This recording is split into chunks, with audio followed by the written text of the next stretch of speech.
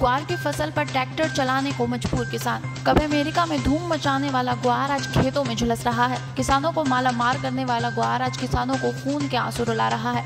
ग्वार के दम पर राजनीति चमकाने वाले विधानसभा में पहुँचने वाले जनप्रतिनिधि भी आज ग्वार को कोई खैर खबर नहीं ले रहे हैं। ग्वार को क्या रोग है?